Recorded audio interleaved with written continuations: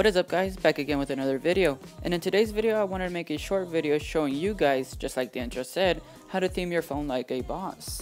You are going to need three things for this to work. You are going to need the paid version of the KLWP live wallpaper, as well as a custom launcher, and the theme you're wanting to install. So without further ado, let's go ahead and hop right into this. So when you first launch the app, this is what you'll be greeted with.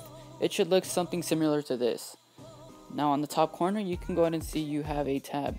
From here you can go ahead and adjust your settings accordingly. The first one being set as a wallpaper. Since it is a live wallpaper, you will need to set it as a wallpaper.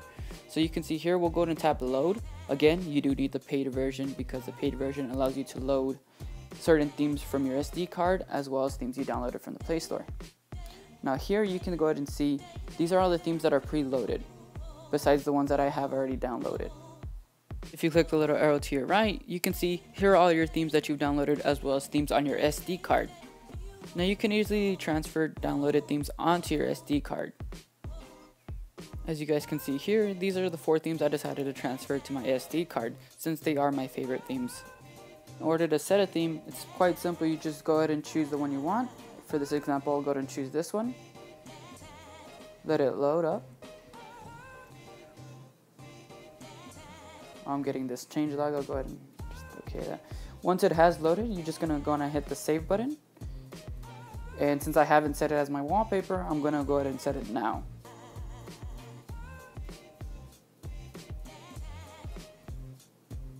just go ahead and set. Now I'm gonna grant it uh, notification settings.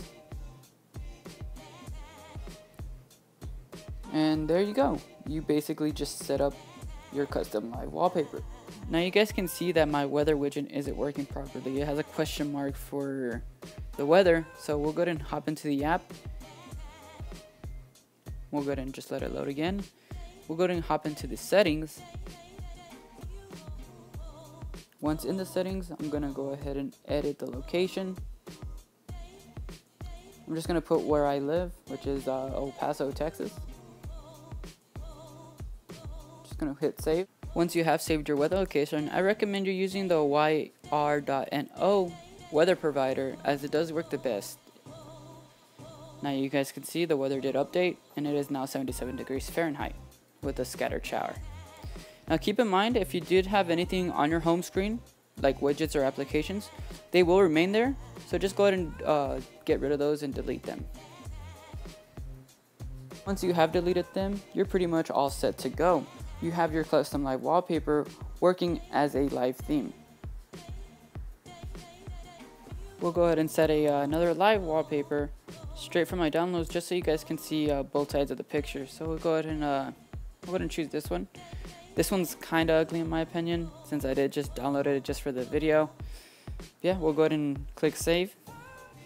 Save, just go ahead and head back home and you guys can see here's the new theme. It's easy as that. Um, if you guys do have problems still trying to set up a theme, just go ahead and let me know and I'll be more than happy to help you guys out. So yeah, that pretty much does it. If you guys still have any problems setting up a theme, like I said, just go ahead and leave a comment down below and we'll catch you on the next one. Peace.